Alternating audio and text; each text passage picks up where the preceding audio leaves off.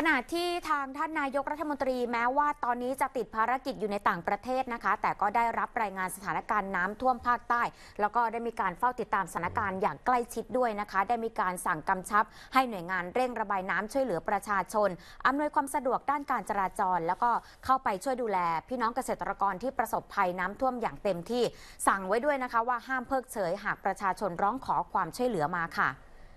พลเอกประยุจันโอชานายกรัฐมนตรีได้โพสต์ข้อความผ่าน Facebook แฟนเพจ ประยุทธ์จันโอชา ระบุว่าได้รับรายงานว่าจังหวัดประจวบคีรีขันธ์กับชุมพร ยังคงมีน้ำท่วมอยู่ ได้สั่งการให้หน่วยงานเร่งระบายน้ำช่วยเหลือประชาชน และอำนวยความสะดวกด้านการจราจร และสำหรับที่ชุมพร ได้มีการจัดตั้งโรงครัวพระราชทาน ที่ศูนย์ราชการอำเภอเมือง และที่มทบ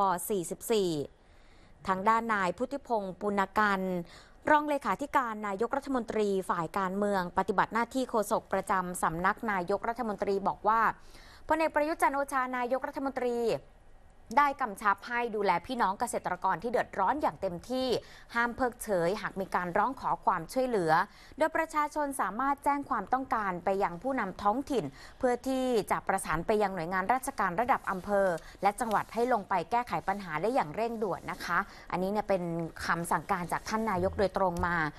ขณะที่นายกฤษดาบุญราช รัฐมนตรีว่าการกระทรวงเกษตรครับและสหกรณ์นะคะ ตอนนี้ท่านเองก็มีคำสั่งด่วนนะครับ ให้ทางเกษตรจังหวัดประสานกับชลประทานจังหวัด พัฒนาที่ดิน ประมง และปศุสัตว์ รวมทั้งหน่วยงานกรมวิชาการเกษตรในพื้นที่ เพื่อที่จะจัดทีมนะครับ ลงไปสำรวจความเดือดร้อนของเกษตรกรด้านต่างๆ เพื่อให้ความช่วยเหลือ และให้เกษตรกรจังหวัดนะครับ ที่มีสถานการณ์ฝนตกชุกในพื้นที่ภาคใต้ ตอนนี้ให้ทางเกษตรจังหวัดเนี่ยเปิดเป็นศูนย์เฉพาะกิจช่วยเหลือ และฟื้นฟูผู้ประสบอุทกภัยด้านการเกษตรแล้วนะครับ ซึ่งถ้าไปดูตามระเบียบนะครับของทางกระทรวงการคลัง เมื่อผู้ว่าราชการจังหวัดประกาศเป็นเขตภัยพิบัติ เจ้าหน้าที่เขาจะไปสำรวจความเสียหายค่ะหากพื้นที่การเกษตรเสียหายอย่างสิ้นเชิงนะครับ อันนี้อย่างสิ้นเชิงอืมจะได้รับเบื้องต้นก็คือเงินช่วยเหลือตามระเบียบ โดยถ้าเป็นนาข้าวเนี่ยก็จะได้รับ 1,113 บาทต่อไร่ ค่ะ ถ้าเป็นพืชไร่นะครับ1,148 บาทต่อไร่ พืชสวนแล้วก็อื่นๆก็จะเป็น 1,690 บาทต่อไร่นะครับ ค่ะ ซึ่งครัวเรือนหนึ่งก็จะได้รับไม่เกิน 15 ไร่นะครับอะอันนี้เป็นความช่วยเหลือเบื้องต้นค่ะ เพนะราะครับฉะนั้ซึ่นงเนี่ยคิดว่าน่าจะมากกว่านี้แน่นอนนะครับ ถ้า คุณผู้ชมเกษตรกรท่านไหนนะคะ ที่พื้นที่ได้รับความเสียหายเนี่ยประสานไปยังเอ่อผู้นำชุมชนเลยเกษตรจังหวัดนะครับค่ะอืมอ่าสามารถติดต่อไปได้นะคะ เพราะว่ามีเงินช่วยเหลืออยู่แล้ว ทางด้านนายชยพลทิติศักดิ์อธิบดีกรมป้องกันและบรรเทาสาธารณภัยบอกว่า ปัจจุบันสถานการณ์อุทกภัยคลี่คลายแล้วหนึ่งจังหวัดก็คือที่เพชรบุรี และยังคงมีสถานการณ์อุทกภัย 2 จังหวัดนะคะ ก็คือที่ประจวบคีรีขันธ์น้ำไหลหลากเข้าท่วมพื้นที่ 4อำเภอ ได้แก่อำเภอภอบางสะพานน้อย อำเภอบางสะพานอำเภอทับสแก และอำเภอเมืองประจวบคีรีขันธ์ประชาชนได้รับผลกระทบทั้งหมด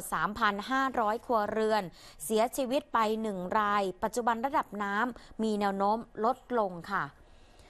ส่วนจังหวัดชุมพรน้ำไหลหลากเข้าท่วมพื้นที่ 7 อำเภอนะคะ ก็มีที่อำเภอปะทิว อำเภอสวี อำเภอเมืองชุมพร อำเภอหลังสวน อำเภอทุ่งตะโก อำเภอท่าแซะ แล้วก็อำเภอละแม ประชาชนได้รับผลกระทบ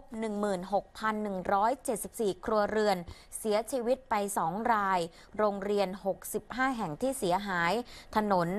690 สายสะพาน 56 แห่ง พื้นที่การเกษตรเนี่ยคาดว่าน่าจะได้รับผลกระทบประมาณ 4,235 ไร่ ปัจจุบันระดับน้ำก็มีแนวโน้มลดลงเช่นกันนะคะ ส่วนใหญ่ที่เสียหายเนี่ยก็คือว่าน้ำมาเร็วแล้วก็แรงแรงกว่าปีที่ครับผ่านมา ก็เลยทำให้ประชาชนเด็กเก็บข้าวของไม่ทัน รวมถึงพืชผลทางการเกษตรเนี่ยนะคะ เก็บไม่ทัน คือบางบ้านเนี่ยคือมิดหลังเลยนะครับค่ะถ้ามิดหลังนั้นก็แน่นอนนะครับก็เสียหายทั้งสิ้นค่ะทั้งหมดเลยนะครับอืมตอนนี้เดี๋ยวหน่วยงานภาครัฐกำลังเร่งเข้าไปดูแลนะครับค่ะซึ่งคาดว่าหลังจากนี้ไปน่าจะมีมาตรการออกมาค่อนข้างชัดเจนขึ้นอืมสำหรับการฟื้นฟูดูแลในพื้นที่นะครับค่ะ